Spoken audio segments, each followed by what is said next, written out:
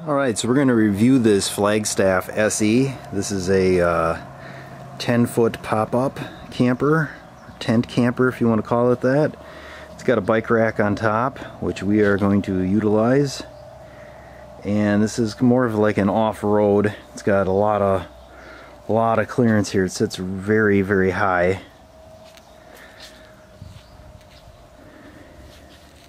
LP tank on front, doesn't have a battery connected at the moment, but it has all the uh, wiring for it.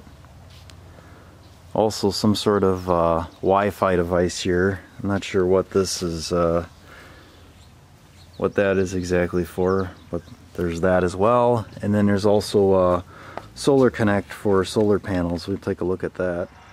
Over here is the uh, connections for the solar panel and then if you come down I believe it's underneath I think somewhere down in here where these wires are there's a uh, little plug you take out. I think they call that an Anderson plug. It's just a two plug. Um, I believe that's got something to do with the solar as well. I'm not 100% sure.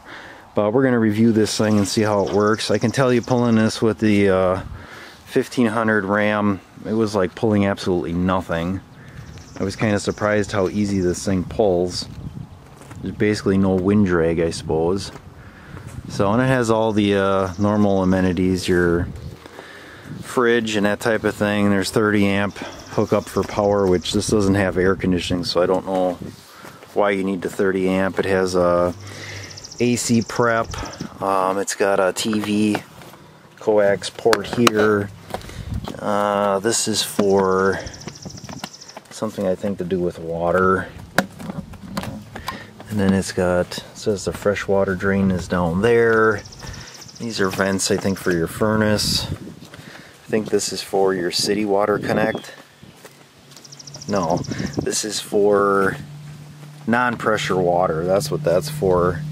So I think maybe that might be to fill the water tank probably. And then this is your city water connection.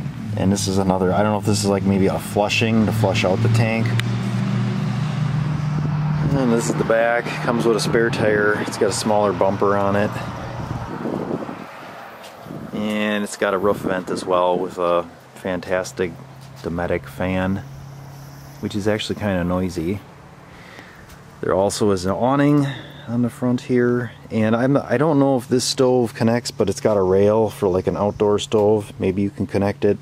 It does have the, uh, the gas port in here for the propane your LP connect.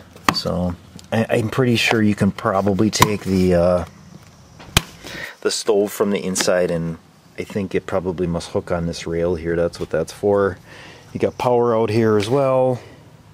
There's actually quite a few power outlets in this thing. Speaker for the radio system. An antenna that does substandard job at best. Um, that's a terrible location for an antenna grab handle here, step, and then this is the venting for your refrigerator. So once we get it to the campground here, we'll set it up.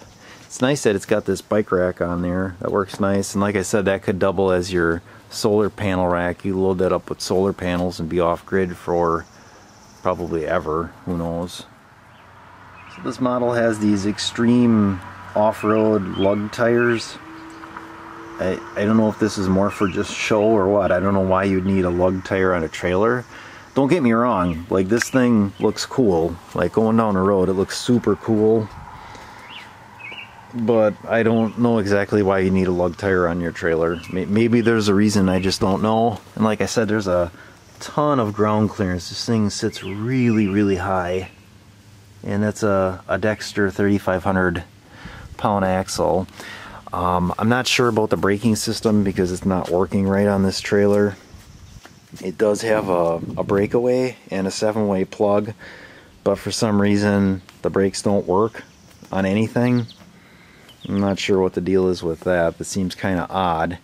Uh, the guy at the dealership told me that uh, the only brakes that are supposed to work are the breakaway switch, which seems odd that it would have a seven-way plug with a breakaway why wouldn't it have brakes then?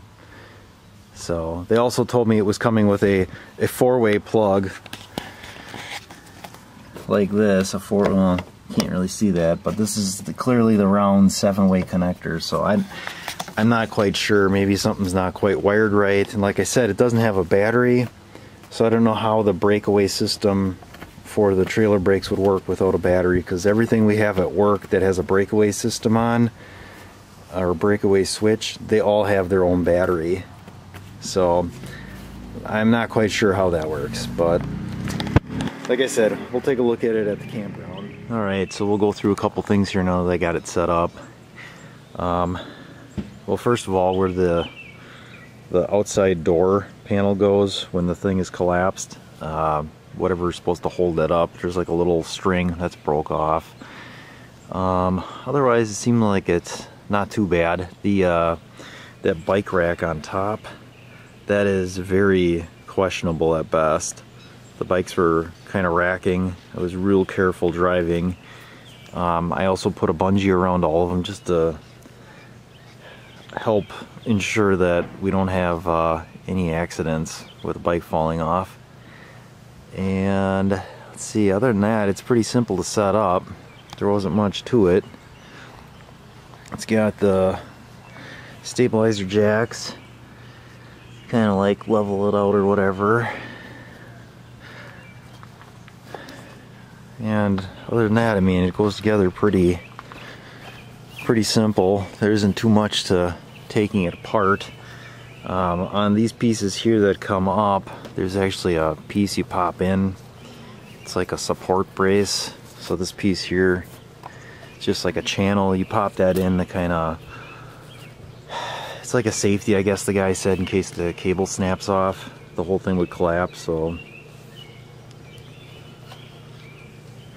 Um, the one thing I had to do was I had to get a different ball hitch so that's a, a two inch drop that I flipped around so it's actually got from what I had was a two inch drop this is two and three quarter inch taller now make this sit level just because this thing sits so high off the ground. Um, I like the fact that the clearance I'm not so so sold on the inside. The inside's kind of cheap but maybe that's just the way uh, pop-ups are. So this is where you store the door and like I said there's supposed to be like a strap that holds this up but it's broke so I just got it hanging there for now so we're camping without any power or water or anything like that. So and when the truck is plugged in you can turn on some of the lights or it was some of the stuff was lit up and the radio would work. So I don't know how that wiring works. And like I said the brakes on here there's there's absolutely no brakes no breakaway. So something on that is kind of hokey and I don't know maybe that's just the way campers are the wiring underneath just looks like a mess it doesn't look real good and the wires are real loose nothing's tied down so we'll take a quick look inside alright so we got a huge mess in here already but I'll just show you kind of the the inside how everything is. So it's actually pretty spacious. It's, it's a 10 foot, so it seems like there's a decent amount of space. I believe this is a full-size bed in the back here, pull out. Got a uh, fantastic fan. I'm not real sold on that either. It was pretty loud when I had it on, when I had it plugged in at the, the house. Uh, this end here, I believe is a queen size for a 10 footer. And then there's, well these are your rods that push out the tent sides or whatever to hold up the roof. There's a few adjustments there and then there's push button LED lights so which would be plenty bright for in here. So to take the thing all apart, the dinette here you have to break the table apart and then this that table platform goes in between the cushions and the cushions lay flat so that you can slide this bed forward. And then over on this side here, you got your sink and we got all our stuff set on top of the LP stove. You can see there's like a hinge bracket here, so this whole top part lifts up and sets down to get flat. So, and you can see here too, I don't, like I said, I'm not sure how old this camper is. It's not too old. This piece here is popped out. Um, Everything on the sink is plastic, even though it doesn't look like it is, it, it's plastic. We don't plan on using that either. And then coming around, you got the uh, small little LP furnace here on the bottom. The thermostat is behind me, I didn't show you that. This down here is like your fuse box. This right in here, if you pop this open. So, and I don't believe that there's an inverter in here. It says that there's not, but there's a fan, so uh, maybe maybe you can get it with an inverter. This one just doesn't have one.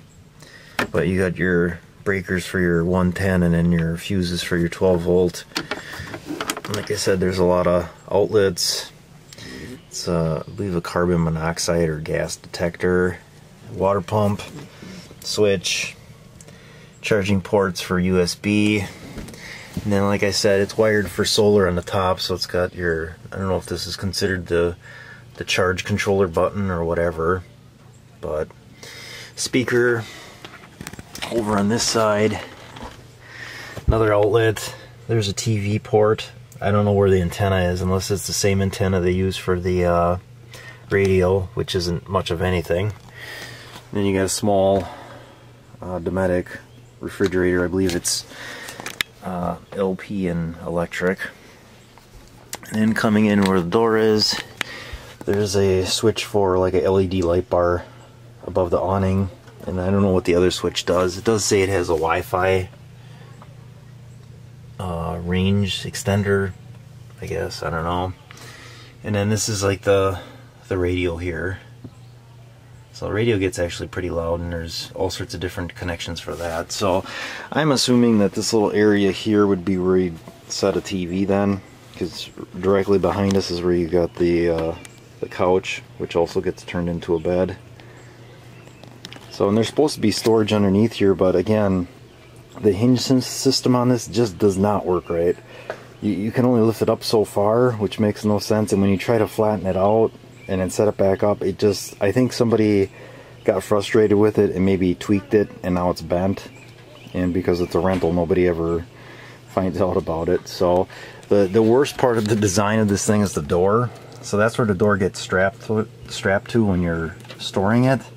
Then these channels here is what brings the door down. So channel like this, and then the door comes down. There's some Velcro and some little plastic tabs that just holds that frame in. And then you got like a, a screen. Screen's all the way down. You can kind of half panel depending on how you want it. So don't get me wrong, this is definitely much better than a, a tent. You got a lot more space. Um, it just seems like some of the stuff could be a little bit better, and I don't know if that's the brand of uh, of this pop-up or if just all pop-ups are like this. So that'd be interesting to find out. Alright, so we finished our uh, camping excursion here. Uh, pretty uneventful. Camper worked pretty well. Everything uh, seemed to work as planned. The one unplanned thing was this stump over here. The first night I was playing catch with my daughter and I tapped that stump with my foot and found out that there was like a wasp or hornet's nest in there and I got stung four times once in the lip so that was pretty painful. So lesson learned there. But other than that uh, everything with the camper seemed to uh, work all right. It would have been nice to have the battery to use the lights and stuff and we had a couple people come look at it and they say they really really kind of like it so and ask us what we thought of it and I'm like yeah it seems alright and there was another uh, camper that came in with a Flagstaff Mac and MAC so yeah we got everything loaded up and uh, we're gonna take off and head for home. So that'll be it for now